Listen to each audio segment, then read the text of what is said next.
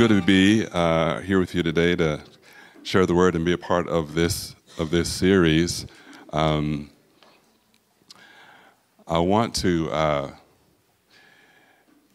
I want to share uh, a couple of stories today in line with this the, the section of Jonah that I'm going to be be highlighting, and so I want to just jump right into it. Um, at the end of Jonah chapter 2, it was interesting, and I was thinking, you know, as I was standing there, I'm like, okay, man, Jonah says a few words at the end of chapter 2, but I didn't put those words on the slide. I'm thinking about maybe reading the end of Jonah chapter 2, and then Sean gets up and reads the end of Jonah chapter 2. Where, you know, Jonah is in this, he's in this great fish, and, uh, and he has this prayer. And in this prayer, you see he has a change in his perspective, a change, a change of heart, a change that's happened in him. And then at the beginning of chapter three, which we're going to start today, um, we see that God initiates the call a second time, and now there is a different, a different response. So let's let's dive into that. Jonah chapter chapter three. Um, I think I may on the slide put chapter 1, but it's chapter 3. Beginning of verse 1 says, Then the Lord spoke to Jonah a second time. A second time. Get up and go to the great city of Nineveh and deliver the message I have given you. So God has spoke to Jonah in chapter 1. I want you to go to Nineveh. So Jonah's like, I'm not going. Then in Jonah chapter 2, we see that God uses a storm to arrest Jonah and a great fish to incarcerate Jonah. And in this setting, Jonah rethinks his decision. Maybe running is not the best idea, especially if you're running from the person who created the whole earth, you really have no hiding place. God doesn't, doesn't do well with the game of hide and seek.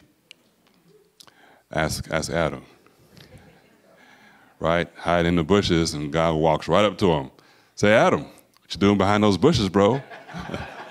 He's like, uh, uh, you can, can you see me? yeah, we can we can see. He doesn't. Oh, hiding thing. Now David, David actually figured out. He's like, where can I go from your presence?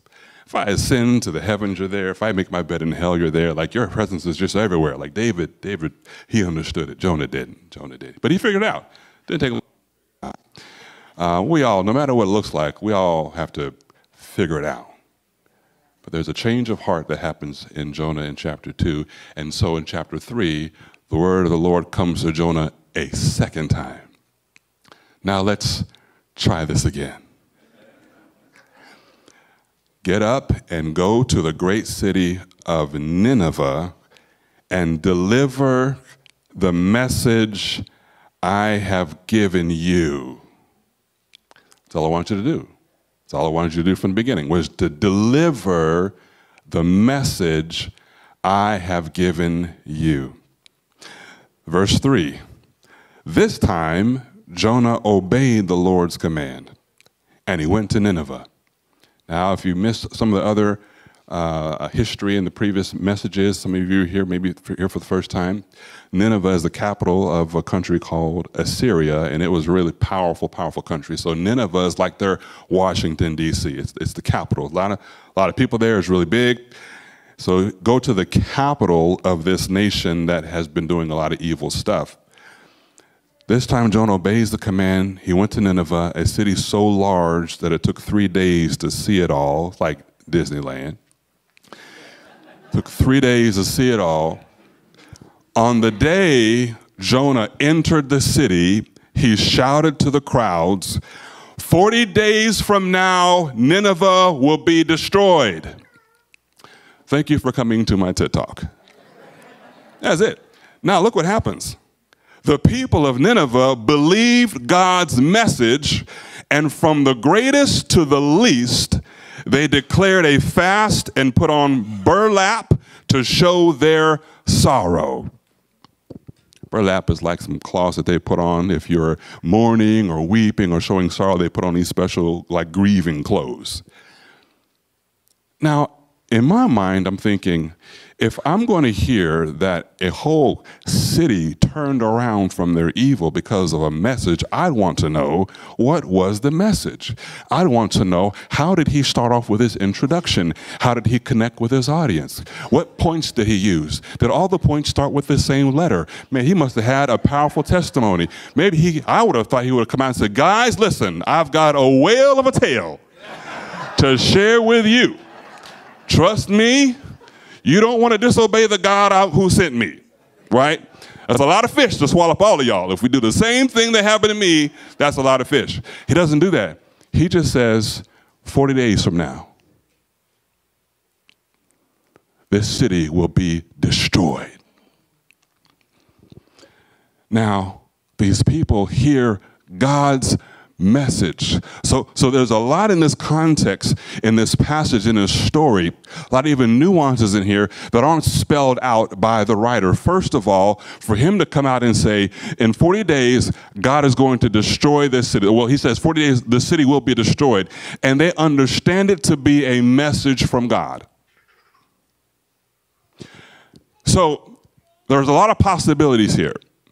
What gave Jonah the kind of credibility to Nineveh where he would make this declaration and they would understand this is someone we should be listening to, not this is somebody who is crazy.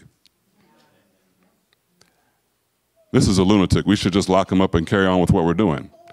It doesn't happen that way. He says 40 days from now, Nineveh will be destroyed. And they're all like, wait, wait, wait, wait, wait, what?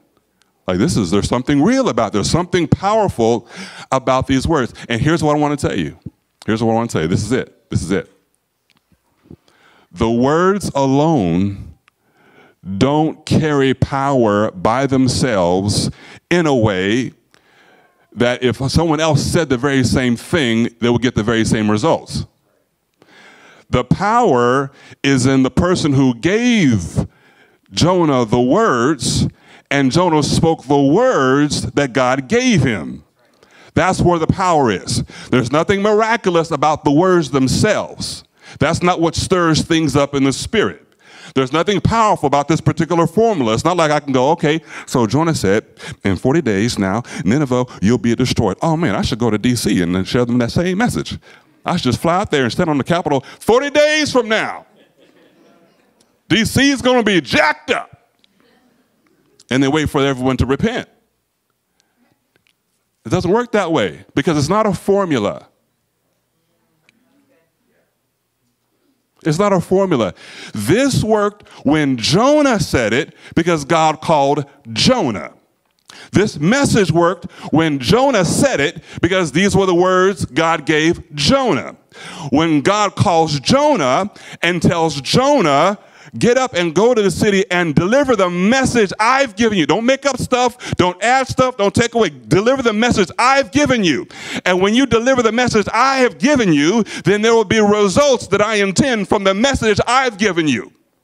If you change the message, don't expect the results. If you add to it, the results won't be the same. If you take away from it, the results won't be the same. Deliver the message I have given to you, and then I will continue to do some work. Now, here's the interesting thing you got to know. Anytime you see this kind of response. The messenger delivers the message and people turn just like that. You've got to know God was already at work before the message got there. You see how fast that was?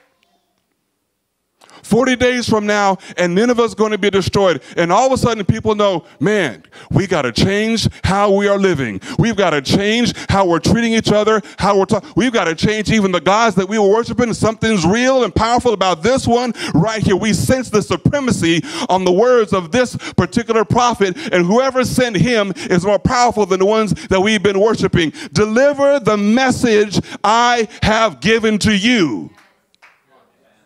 And when you deliver the message I have given to you, then my plan for that message and my plan for the people receiving that message will come to fruition because I will begin to put some other things in place and connect some dots. And I'm just using you as part of my plan to carry out my purpose for the people I have sent you to.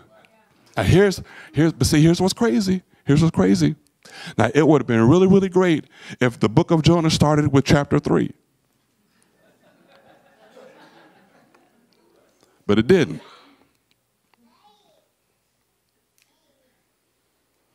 God had his heart for the people of Nineveh, but Jonah didn't.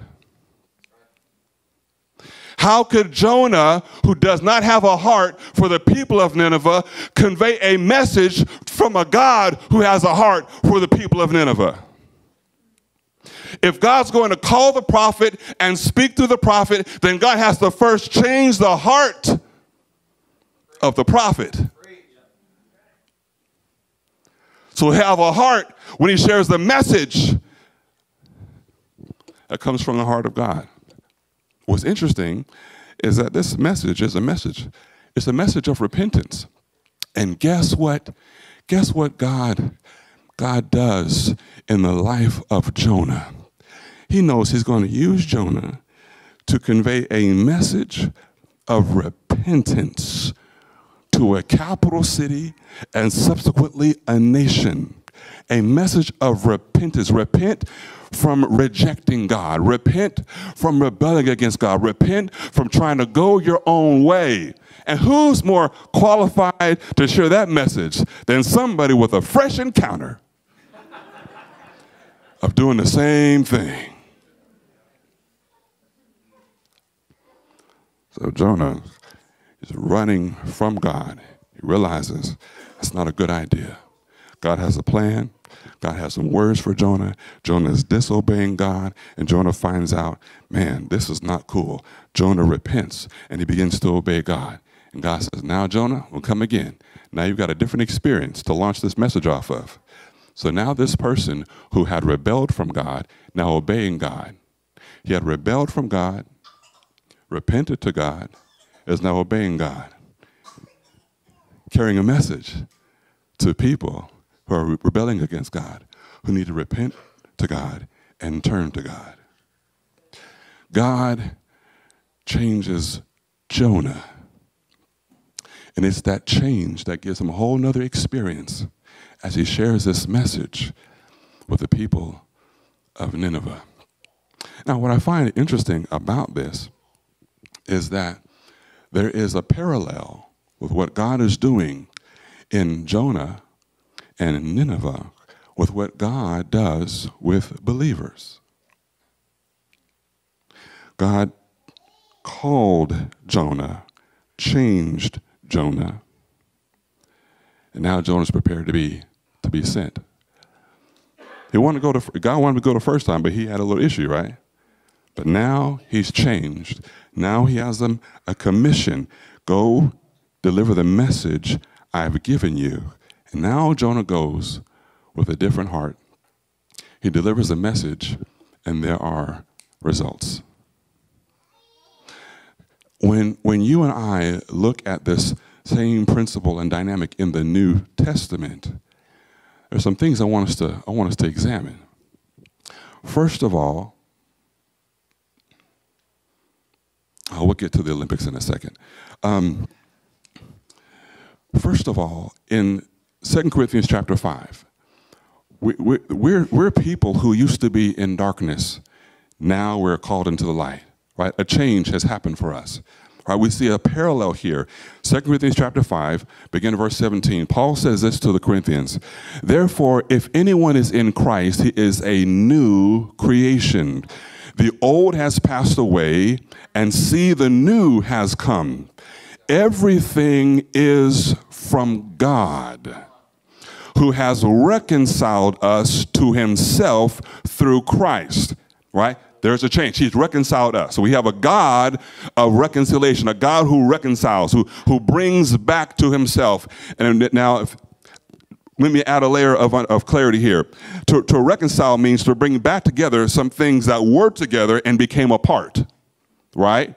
To reconcile, to bring back. So, from a, a worldview, a biblical worldview perspective, we see that God and humanity were united, but when sin entered the world, when Adam and Eve ate off of the tree of the knowledge of good and evil, they brought sin into the world, they disobeyed God. That's how sin entered. Then there was a separation. Now, every human being is born with that separation. So it's through Jesus Christ that we're able to come back to God and be reconciled, be reunited with God through Jesus Christ. And so Paul is saying that those of us who put our faith in Christ, this God of reconciliation has reconciled us. He's made us new. He's changed us. And now watch how he does the same thing that he was doing with Jonah. He has changed us. Watch what ends up happening. Not only has he changed us through Christ, he has given us the ministry of reconciliation. Those who are reconciled are the only people qualified to share a message of reconciliation. If you are not united with God, you can't share the good news of what it's like to be united with God. Only those who have been reconciled, those whose sins have been forgiven, those who experience the grace of God that you can't earn it, you don't deserve it, like we sing today. You can't earn it, you don't deserve it, but still He gives Himself away. Only those who've experienced the reckless love of God and the grace of God that forgives us when we don't deserve it and forgives us completely and utterly every thought, word, action, deed, past, present, future. Only those who have experienced that can share that as good news. Because we're sharing something that's not just a philosophy that's passed on that we just memorize and repeat and share. No, we're sharing it as an experience. In Jonah chapter 2, he had an experience. Not just that it's not a good idea to run from God, but an experience of the grace of God who gives you another chance. Yeah, Jonah, you should have drowned, but you didn't. Our message to people today is you're right, you don't deserve it. I feel like I don't deserve it. You don't. We agree, you don't.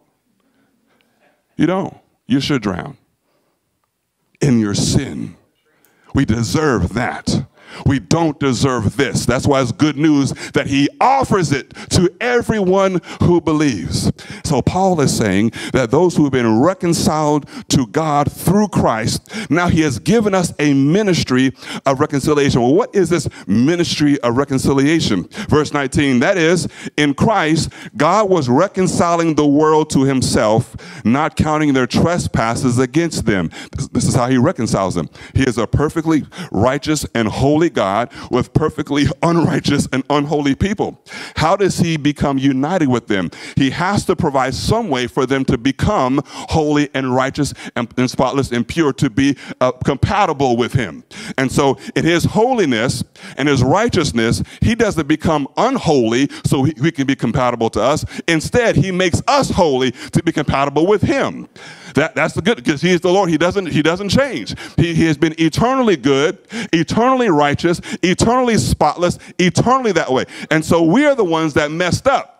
We're the ones that need to be cleansed. So, to make us his children, united with him, he has to send Jesus Christ, who puts on our sin on himself, and he gives uh, uh his righteousness to us as a gift. He makes this swap on the cross. And those who say, you know what, I'm taking the Jesus swap. I'm believing that Christ gives me righteousness and Christ takes on my sin. And God says, anybody who believes that, you are in. That's all it takes is to just believe that Christ is enough. To believe that the blood Christ shed on the cross for you is enough to cleanse you and purify you and make you holy in, in, the, in the sight of God. Maybe not holy in the sight of your parents, but holy in the sight of God. Maybe not holy in the sight of your spouse, but holy in the sight of God. Maybe not holy in the sight of your kids, but holy in the sight of God. Maybe not holy because you feel it, but holy in the sight of God. And so Paul is saying, this is how he, he makes us he makes us righteous. He, he's not counting their trespasses against them if you put your faith in Christ. And so he has committed the message of reconciliation to us. You see that? The message of reconciliation. So we see uh, in verse 18, so everything is from God who has reconciled us. We have a God of reconciliation.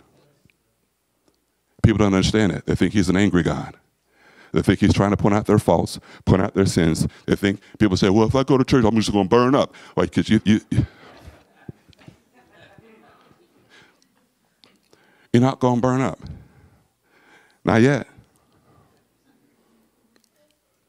Not yet. That's what they think of him. So they need somebody to tell him, to tell them he's a God of reconciliation. So we have a God of reconciliation who gives us the ministry of reconciliation. What is the ministry of reconciliation? Sharing the message of reconciliation. What's the message of reconciliation? He says in verse 20, Therefore, we are ambassadors for Christ. As God is making his appeal through us, we plead on Christ's behalf be reconciled to God. That's the message. Be reconciled to God. Come back to God. There's a way back to God. It's through Jesus. It's through Jesus. It's through Jesus. And the world says it's not fair for there to only be one way. There can't possibly be one way. That's what Oprah said, right? There can't possibly be one way. A lot of folks say there can't possibly be one way. If God is fair and God is just, there can't just possibly be one way. And the reality is, I heard, I think it was R.C. Sproul mentioned this. He highlighted, he says, he says, um, he says, what's wrong with you people? He's funny, he's an old guy with gray hair. You know, what do you say to people who say it can't just be one way? Can't just be one way. What's wrong with you people? There doesn't even have to be one way. The question is, why is there even a way at all?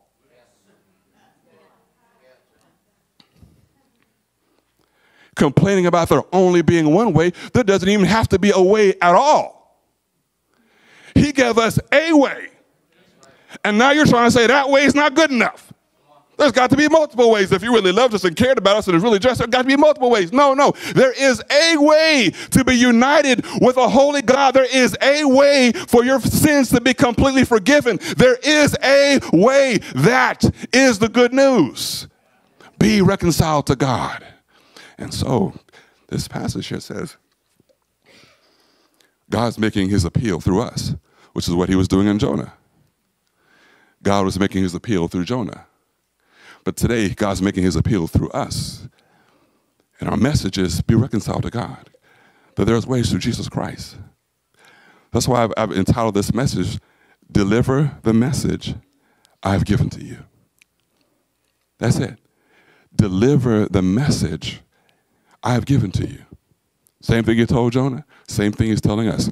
Deliver the message that I have given to you. Be reconciled to God. There is a way for your sins to be forgiven. That God is not mad at you, that God does love you, and that your sins, no matter how bad you feel about them, no matter if you should be in jail right now because of them, whatever those sins are, God will forgive you through Jesus Christ. And if you don't stand before God in Christ and you stand before God just in yourself, that's when it's going to be a problem. But right now, today, right now, you have an opportunity opportunity to put your faith in Jesus Christ and walk across the bridge of Jesus to get to God from the place of sin that you're in right now. The only way from darkness to light is through Jesus Christ. The only way from sin to salvation is through Jesus Christ. The only way from death, hell, and the grave to everlasting life with God, it is through Jesus Christ. I don't care if you think it ain't fair. That's not the point. That's not what truth is all about. Truth doesn't bend according to your feelings. Truth is truth no matter what, no matter what country, no matter what nation, no matter what ethnicity, no matter what sexual orientation, no matter what political party, truth, it will always be truth. And the way is through Jesus Christ. That's it. That's it. Deliver the message that I have given to you. Our message has some similarities with Jonah's message. There is a warning in Jonah's message, and there is a warning in our message. Jesus talked about it quite frequently that there's going to be a place where there's going to be weeping and gnashing of teeth. I'm here so that you don't have to go there, but if you choose to reject me, you're choosing to go there, you need to be warned about that. But the idea of salvation is not to escape hell. The idea of salvation is to be with God, it's to be with Him, it's to find life from our eternal death, it's to find eternal life. And, and, it, and it's, it's to look at the whole world and say, you know what? I'm going to put my hand, my life, in the hands of the person who created this whole thing. Like, oh, you can't look at this and be like, ah, it just happened. It, what kind of foolishness is that?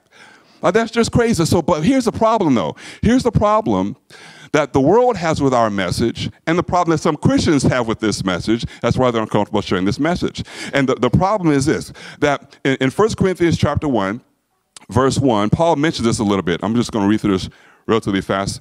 Um, so let's just dive. So the, the problem is this that because our message is come back to God and be reconciled to Him through what Christ has done on the cross, this is, this is what Paul highlights. Paul says the message of the cross is foolish to those who are headed for destruction. what he means by that is that it doesn't make sense, it doesn't add up. It doesn't appeal to the rational senses. It's not according to human wisdom. Because it's not like a man mapped out a plan of salvation that makes sense to man. This plan has come from God and doesn't make sense to people. This message of the cross is foolish to those who are headed for destruction. Well, how do you mean that the person who's going to save me died? That's not a good look. You mean the person who died is going to give me life, but he's dead? No, no, no, no. Not the whole story. He came back to life. He is alive and is the giver of life. He walked through death so that when you walk through it, it doesn't sting. he conquered. So you got to know how to answer stuff like that. He conquered death. He walked right through it. Now, death is not the end, death is just a door. Oh, yeah. The message of the cross is foolishness to those who are headed for destruction. But we who are being saved know it is the very power of God. Now, watch this irrationality here. As the scripture says, this is Paul, right to the Corinthians, quoting a verse from Isaiah I will destroy the wisdom of the wise and discard the intelligence of the intelligent. So, where does this leave the philosophers, the scholars, the world's brilliant debaters? God has made the wisdom of this world look foolish. Because since God, in his wisdom, saw to it that the world would never know him through human wisdom, he has used our foolish preaching to save those who believe. It is foolish to the Jews who ask for signs from heaven, and it is foolish to the Greeks who seek human wisdom. So when we preach that Christ was crucified, the Jews are offended, and the Gentiles say it's nonsense. Deliver the message I've given you. I'm not changing the message because the Greeks wanted to be philosophically appeasing. I'm not changing the message because the Jews want to see all these different signs and stuff. The Old Testament is proof. I can do signs and he still won't believe. Right. right? But to those who God called to salvation, both Jews and Gentiles, Christ is the power of God and the wisdom of God. This foolish plan, and Paul calls it a foolish plan because, again, he's using it for, he's talking about it from the perspective of the people. He's saying this plan is looked at as foolish because it doesn't make, it doesn't add up. It doesn't appeal to the rational mind. Uh, this foolish plan of God is wiser than the wisest human plans, and God's weakness is stronger than the greatest of human strength. So, this mess, here's the thing this message, we're just saying words. We're just saying words.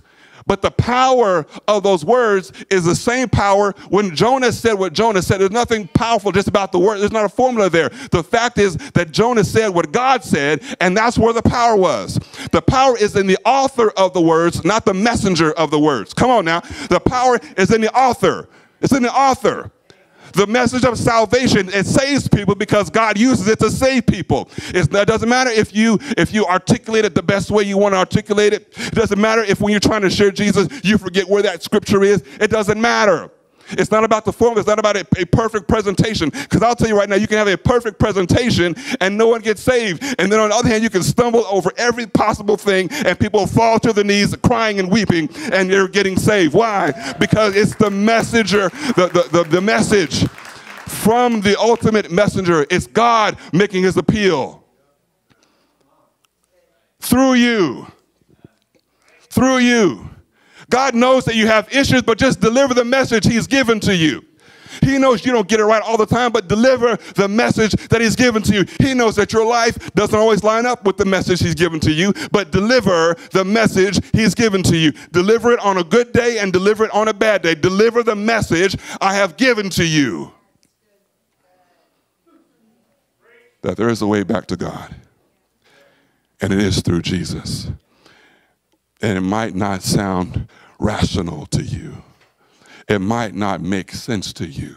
It doesn't add up to human wisdom. That's why you don't discover this through research, you discover it through revelation. God reveals himself to people. He reveals himself to their hearts. The power is in the message because that's the message God chose to save people. So Paul calls it the foolishness of preaching. Here we are just talking about Jesus coming and Jesus dying and Jesus being raised again and people's eternal uh, uh, uh, uh eternal lives uh, come up in their spirit like they become alive spiritually. Like you, you can't do that. You can't reach into somebody's spirit and flip the light on. You couldn't do it to your own self. But Paul tells the Ephesians that we are made alive in in Christ. That when we are just preaching and telling, and we might not feel like anything is happening, we might not feel like we did it the very best that we could. We, we might just, you know, if you're like me, you go, man, I should have done this. I should have, after every message, I should have done, I should have said this, right? We try to critique because we want to do it better. But the reality is that God uses it.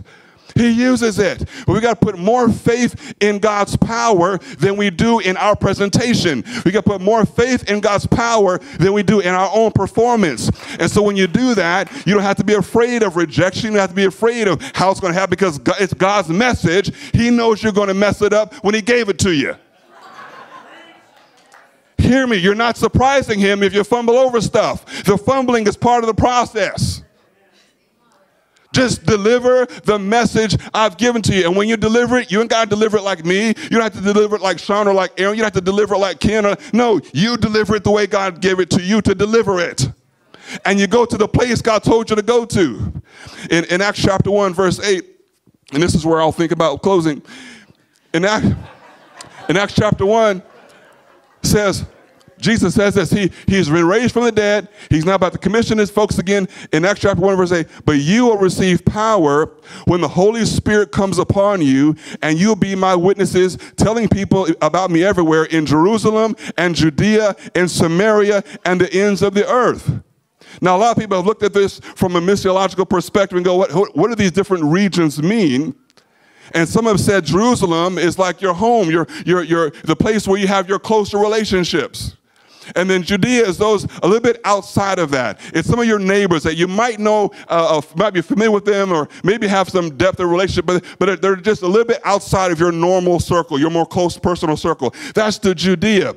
But then Samaria, if you're talking to Jews about going to Samaria, Samaria is the marginalized people. Samaria is the people that you don't want to go to. Samaria is the people who might be ethnically different from you. It's the people who might be different from you in any other kind of way. That's Samaria. Samaria. Samaria. S A M A I A R I. Samaria, right? Go to Samaria. So if you're a Jew hearing Jesus say, go to Samaria, he's saying, go to the people that you're uncomfortable going to. I'm sending you to them. And that's Jonah's issue. That's Jonah's issue. He didn't want to go to Nineveh. He wasn't familiar with Nineveh as far as, uh, uh, you know, relationally. He didn't have connection with them. He saw them as people that he didn't want to go to. He saw them as people who deserved God's wrath and deserved God's punishment, who did not deserve a chance. And then God showed Jonah what it's like to deserve, to not deserve a chance, but still get one.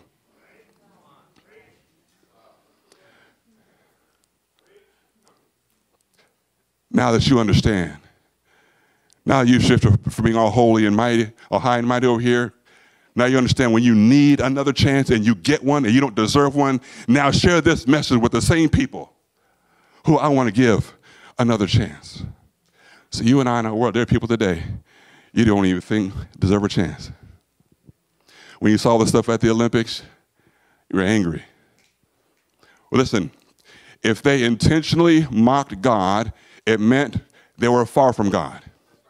If they did not intentionally mock God but put on display their worship of idol gods, they are far from God. They are far from God over here, far from God over here. That's the issue.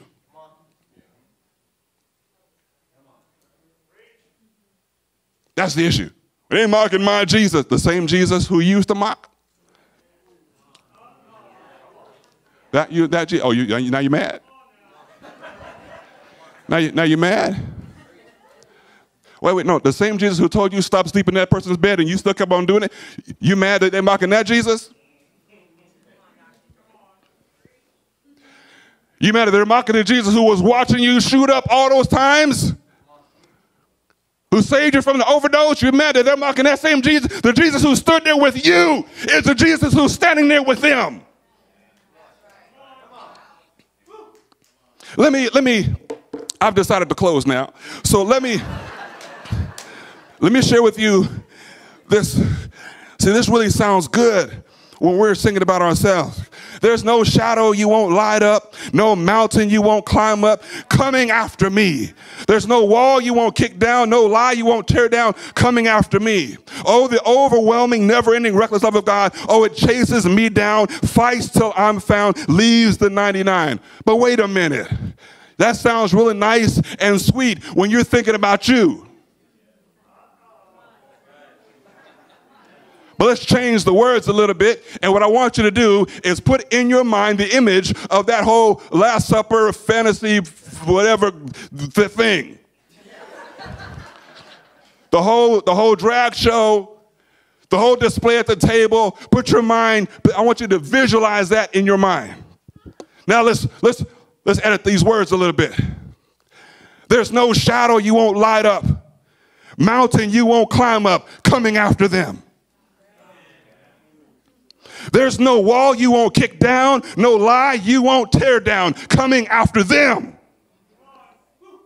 Oh, the overwhelming, never ending, reckless love of God. Oh, it chases them down and fights till they're found.